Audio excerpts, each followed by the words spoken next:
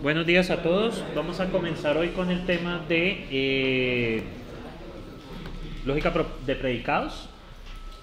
Entonces vamos a hablar de lógica de predicados, concepto de predicados, los cuantificadores, cuantificadores anidados y algunas equivalencias lógicas que encontramos allí.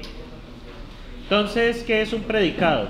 Es una parte de una oración en la que se dice o predica algo del sujeto. Por ejemplo, el tren llegaba con retraso, entonces el predicado es llegaba con retraso, es decir, le da una propiedad a un objeto.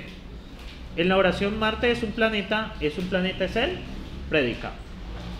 Entonces aquí vemos varios, varias oraciones, vemos el tren llegaba con retraso, Marte es un planeta, Donald Trump habla inglés, diciembre es un mes de 31 días y Deportivo Cali es un equipo de la primera A. Entonces, ¿cuáles son los predicados? Los que están subrayados allí. El tren llegaba con retraso, Marte es un planeta, Donald Trump habla inglés. Diciembre es un, eh, es un mes de 31 días y es un equipo de la primera A. Básicamente le da una propiedad a el objeto. Entonces pensemos en Marte es un planeta, pensemos en eso. Entonces podemos verlo como una función que se llame planeta y lo que hace esa función es decir que lo que ingrese es un planeta. Entonces planeta evaluado en Marte. ¿Qué quiere decir esto? Marte es un planeta. Podemos manejarlo como una función directamente. El predicado queda acá y el sujeto. Entonces vamos a definir una función que va a recibir un sujeto y va a darle una propiedad. En este caso, Marte es un planeta. Entonces, ¿cómo sería entonces si planeta Marte es, Marte es un planeta, ¿cómo sería Venus es un planeta? Planeta Venus, correcto, ahí está. Donald Trump habla inglés. Habla inglés Donald Trump. Ahí está. Habla inglés Donald Trump. Uribe habla inglés. Habla inglés Uribe, ¿sí? Entonces, muchachos, este va a ser el predicado y este va a ser el sujeto. Entonces, a partir de ahí vamos a arrancar. Planeta X, entonces X es un planeta, ¿sí? Vamos a definirlo como una función directamente. Entonces, en este caso, la función planeta recibe un valor que es lo que vamos a dar la propiedad de que es un planeta, en este caso. Entonces, bueno, aquí están los planetas del sistema solar, están los planetas y están los planetas enanos. Ve las lunas y sus lunas. Ya saben que Plutón no es planeta desde el 2006, ¿no? Entonces, muchachos, ¿cuál sería el valor de verdad de esas expresiones? ¿Marte es un planeta? Es verdadero. ¿Planeta Titán? No, Titán es una luna. ¿Y planeta Saturno? Sí, entonces es verdad. Bueno, hasta ahora no hemos hecho nada extraño. Entonces, como ustedes pueden ver, los predicados van a tener, cuando lo evalúan, la salida de esa función va a ser un valor de verdad. O sea que son funciones que nos arrojan verdadero o falso en este caso. ¿sí? Son funciones que reciben un elemento y nos arrojan verdadero o falso. ¿sí? Bueno, empezamos con este. Cali es un equipo de la primera A. Entonces, ¿cómo queda? liga que pertenece a la liga Cali. ¿sí? Entonces, miremos este caso. Liga X. X es un equipo de la primera A.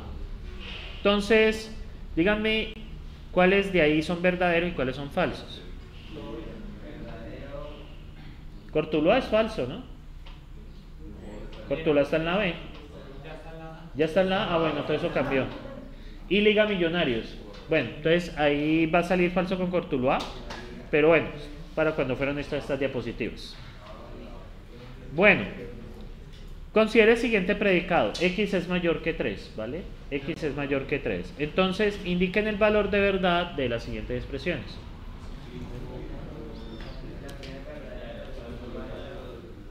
¿Cuánto da P de 5? Verdadero, ¿por qué? Porque 5 es mayor que 3. P2, falso, ¿por qué? Porque 2 no es mayor que 3. Y 14 queda verdadero porque 14 es mayor que 3. Sencillamente reemplazar aquí, eh, reemplazar aquí x, x es mayor que 3 y ya está. Bueno muchachos, entonces ahí están. Como ven, los predicados son funciones que nos reciben uno o más argumentos y nos arrojan siempre verdadero o falso. Son funciones que nos arrojan siempre un booleano. ¿sí? Son funciones como las funciones matemáticas que ustedes conocen, solo que son funciones que solo nos arrojan esos dos posibles resultados.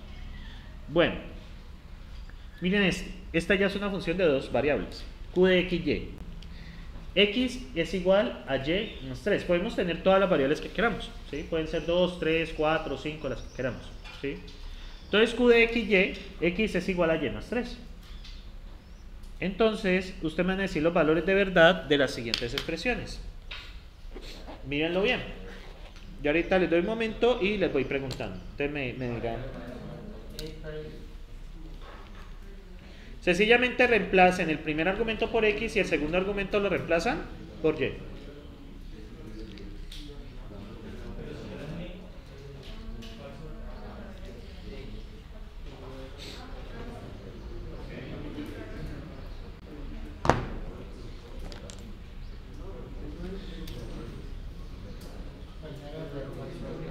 Bueno, Q de 4, 1, ¿cómo es? ¿Por qué? Porque es verdadero. 4 es igual a 1 más 3, correcto. Q de 10, 7. Verdadero porque 10 es igual a 7 más 3. Sencillamente reemplazan. ¿Y Q de 5, 3? Falso. Falso porque 5 no es 3 más 3. ¿sí? Muy bien. Entonces es falso. Miren que hasta ahora pues no hemos hecho nada fuera de lo común. Miren este. Considere el siguiente predicado. Madre de X, Y. X es la madre de Y. ¿Vale? Este es el siguiente ejemplo. Entonces, miremos la siguiente. Madre María Jesús. ¿María la madre de Jesús? Sí. Madre Amparo Grisales de Álvaro Uribe. Pues, es cuestionable, pero creo que vemos que no, ¿no? Sí, puede ser que Amparo Grisales sea la madre de todos nosotros, pero como eso no se ha comprobado, eso es falso. ¿Y madre Shakira de Milán? Sí.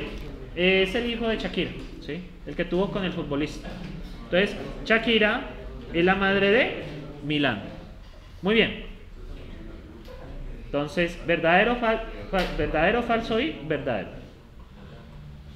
Bueno, consideremos los siguientes predicados. P de x, x es mayor que 3.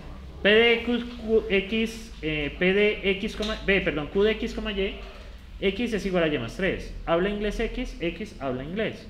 Madre de x, y, x es la madre de y. Como ven, podemos definir funciones de cualquier cosa, siempre y cuando estas funciones nos arrojen siempre qué? ¿Verdadero o falso? ¿Sí? Es, es como la lógica proposicional, solo que ya lo tenemos en términos de funciones. ¿sí? Porque si, usted si ustedes notan una cosa, noten una cosa, que cuando ustedes evalúan un predicado, obtienen una proposición. ¿Por qué? Porque si yo ya tengo que María es la madre de Jesús, ¿eso qué es? Una proposición. Una proposición. ¿sí? Los predicados es volver las proposiciones funciones. ¿sí? O sea, vemos sencillamente, eh, ahora lo vemos por funciones. Entonces, muchachos, ¿Cuál es el valor de verdad de P de X? ¿De qué depende? Depende del número y dará verdadero cuando los X sean mayores que 3. ¿Qué se espera que sea X? Un número, ¿vale? Entonces también ustedes deben mirar qué es lo que está esperando el predicado. En el caso de QXY también está esperando números. Pero en caso de habla inglés X, ¿X qué es? Un nombre de una persona. ¿Sí? Nombre de una persona, tampoco pues porque uno no puede decir el televisor habla inglés, ¿sí? No tiene sentido, pero ya que fuese una persona. Eh, nosotros cuando veamos conjuntos ya formalizaremos esto mejor, ¿sí? Cuando veamos conjuntos. Madre de X y, ¿usted qué esperan de X y Y? Que sean nombres de personas, ¿sí? Muy bien.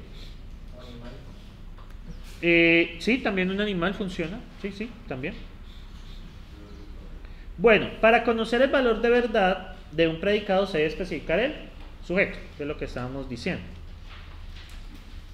Entonces, de acuerdo a eso, ustedes me van a decir cuáles son los valores de esas expresiones de verdad. Anótenlos allí, les doy unos momentos y entonces eh, ustedes me dirán. Ah, bueno, podemos hacerlo de paso. X es mayor que 3, ¿qué pasa con P de 0?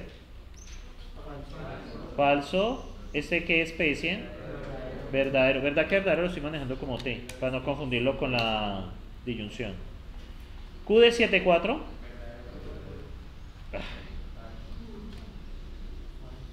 ¿Y el otro es? Falso, ¿no? Porque es que 3 no es igual a 2 más 3. ¿Habla inglés Álvaro Uribe? No, él no habla inglés, eso es falso. Busquen en YouTube Álvaro Uribe hablando inglés y se darán cuenta que él no habla inglés. Duque sí tiene un inglés perfecto, pero no, Duque tiene, eh, escucha hablando inglés a Duque y tiene un inglés perfecto, pero Uribe no. Eh, pues obviamente, ¿no? Sí, escúchenlo, o sea, miren el video y lo escuchan hablando inglés y no. Ustedes hablan mejor que él, de hecho. Madre María de Jesús, verdadero, ¿no? Y Amparo Grisales de Álvaro Uribe, eso es falso, ¿no? Aunque es cuestionable. Bueno, entonces muchachos, siguiente ejercicio, que les va a dar unos momentos para eso. Expresar en lógica de predicado los siguientes enunciados y mostrar expresiones que sean falsas y otras que sean verdaderas. Coloquen dos que sean falsas y dos que sean verdaderas. Go ahead, a ver si han entendido la, el ejercicio. Igual muchachos, son las 8 y 25, hay que relajarse. De un bello viernes. Ya tienen el fin de semana para ustedes. y el cuaderno. Este es el cuaderno, sí. Aunque como son... ¿Sí hay parcial, no? Dentro de 8 días hay parcial, sí señor. Ah.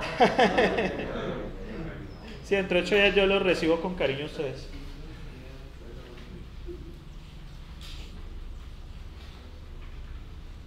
Entonces, sí, y llega hasta el tema de hoy, eh, porque pues es todo lo de lógica. Ya la otra semana, después de la otra semana conseguiremos el segundo corte y ya después de eso vendría Semana Santa.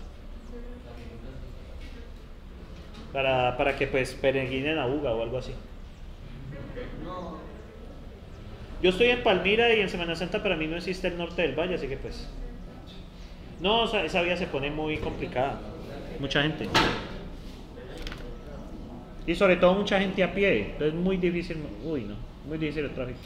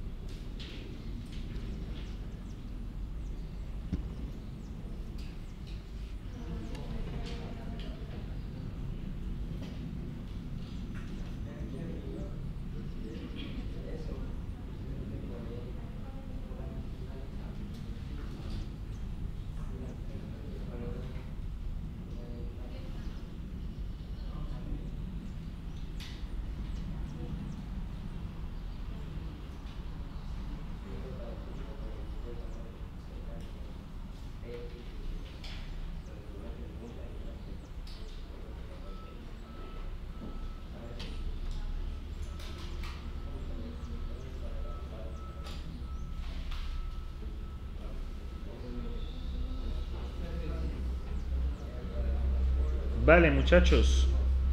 Aquí adelante creo que está la solución. Entonces, P de X, Y, Z son tres variables, ¿no? ¿Se les dio así? Entonces sería X al cuadrado más YZ igual Z al cuadrado. Entonces, P de 3, 4, 5 es verdadero. Y P de 2, 5, 7 es falso. X, Q de X. X es una película de ciencia ficción. Star Wars es verdadero. Y el conjuro es falso, ¿no? Porque el conjuro es una película de terror. ¿Sí? ¿Sí les dio más o menos así? Vale. Listo, muchachos. Entonces, ahora sí, expresar en lógica de predicado los siguientes enunciados y mostrar expresiones que sean falsas y otras que sean verdaderas. Entonces allí